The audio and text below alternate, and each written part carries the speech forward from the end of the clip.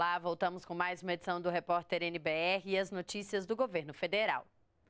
O presidente Michel Temer entregou agora há pouco residências do programa Minha Casa Minha Vida em Patos de Minas, na região do Triângulo Mineiro. Os imóveis são para famílias da faixa 1 do programa, com renda mensal de até R$ 1.800. Durante o discurso, o presidente destacou que, além de garantir moradia, o programa Minha Casa Minha Vida movimenta a atividade econômica. Sabe quanto representa isso, meus amigos, de emprego no país? representa mais ou menos 1 milhão e 100 mil empregos na construção civil. Por isso, eu quero comemorar com vocês todos que, digamos assim, a Prefeitura, irmanada com a União Federal, com o governo federal, vem aqui para praticar um gesto eh, de alegria, um gesto de felicidade.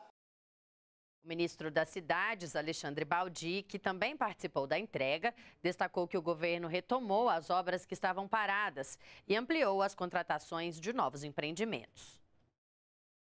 Nós temos 650 mil unidades que foram autorizadas.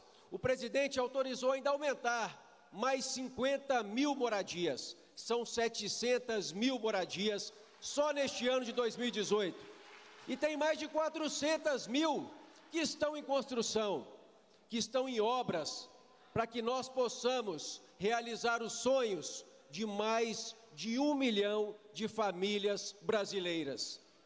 Isso, amigos e amigas, aqui de Patos de Minas, é o respeito a um dos maiores, se não o maior sonho da família brasileira e neste fim de semana, o feirão Caixa da Casa Própria será em Belo Horizonte, Rio de Janeiro, Uberlândia, Goiânia e São Luís. Até domingo, a expectativa é que sejam oferecidos mais de 58 mil imóveis, entre novos e usados. O presidente Michel Temer e o ministro da Segurança Pública, Raul Jungmann, falaram sobre a maior operação de combate à pedofilia realizada no mundo em um único dia. Quase 3 mil policiais de todo o Brasil participaram. A iniciativa é do Ministério da Segurança Pública e o foco foi o compartilhamento de arquivos digitais pela internet mais de 250 detenções, além de mais de 500 mandados de busca e apreensão. Na semana passada, ou há duas semanas atrás, operação da Polícia Militar, mais de 100 mil homens em todo o país, com mais de 5 mil flagrantes em todo o país. É a segurança pública do governo federal, comandada pelo ministro Raul Jungmann, que dá os melhores resultados. Obrigado, presidente. A criação do Ministério permite que nós tenhamos pela primeira vez uma política nacional de segurança. E essa política nacional de segurança, ela faz com que, de forma integrada, as polícias civil, militar, polícia federal, guarda municipais, enfim, todas as forças da segurança possam atuar conjuntamente em todo o território nacional, apresentando resultados que vão em encontro do desejo de todos: mais segurança, menos violência.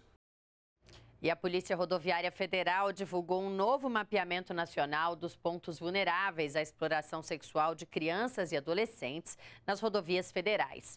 Foram identificados quase 2.500 locais onde ocorre esse tipo de crime, como postos de combustíveis e bares.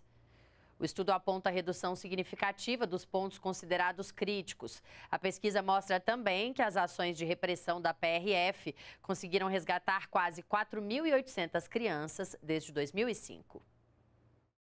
Segundo a Polícia Rodoviária Federal, a pobreza é um dos fatores que levam crianças e adolescentes a serem vítimas da exploração sexual. E é nas rodovias que esses jovens viram presas fáceis de exploradores sexuais. De acordo com um levantamento da Polícia Rodoviária Federal, o Mapear 2017-2018, existem quase 2.500 pontos vulneráveis de exploração sexual de crianças e adolescentes em rodovias federais de todo o país. Desses, aproximadamente 500 são considerados críticos. A maioria dos pontos vulneráveis está nas regiões Nordeste, Sul e Sudeste houve aumento de 20% no número de pontos vulneráveis em relação ao levantamento anterior, mas as áreas consideradas críticas tiveram redução. Depois de identificar a região onde ocorre ou pode ocorrer a exploração sexual de crianças e adolescentes, a Polícia Rodoviária Federal realiza ações para combater esse tipo de crime. Tem toda uma rede integrada e a Polícia Rodoviária Federal, objetivando essa ação identificando elementos, tanto ela própria, no campo repressivo, desenvolve operações periódicas onde pessoas são realmente resgatadas né, e encaminhadas para a rede de assistência, quanto a disseminação desses dados permitem, tanto no âmbito do município, na melhoria das características de um local, melhoria da iluminação, é, retirada e eliminação dos pontos, que é o objetivo que tem sido alcançado com o resultado. O estudo foi feito em mais de 70 mil quilômetros de rodovias federais de todo o país e as campeãs em número de pontos críticos foram as BR 101 e 116, que são estradas que cortam o Brasil de norte a sul. Mas o problema da exploração sexual pode ser bem maior, já que as rodovias estaduais não fizeram parte do levantamento os pontos críticos que têm diminuído nas rodovias federais, na verdade, eles não estão acabando, eles estão, na verdade, migrando, e principalmente para áreas fora da, fora da circunscrição da Polícia Rodoviária Federal. E por isso que é hoje uma bandeira da PRF, da Secretaria Nacional dos Direitos da Criança e do Adolescente e da Childhood Brasil, que é da sociedade civil organizada, levar essa metodologia do mapear para os estados, para aqueles estados que, que tenham a intenção de adquirir essa metodologia, obviamente. Desde 2005, quase 4.800 crianças e adolescentes foram resgatados de áreas vulneráveis. E a ação contou com o apoio da sociedade civil.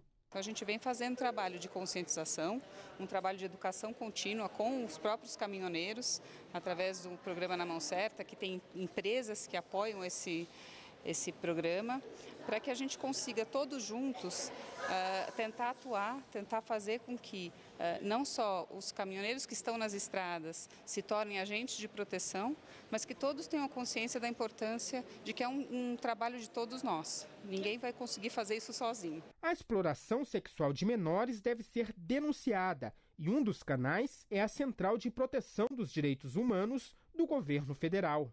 Nós temos o canal do Disque 100, né, que tem, é, as pessoas podem é, encaminhar denúncias, formular denúncias.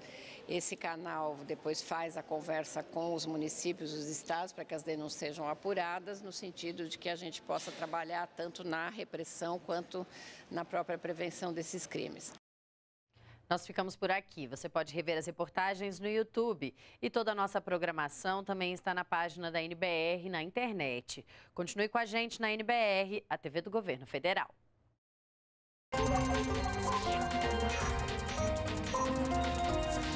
Música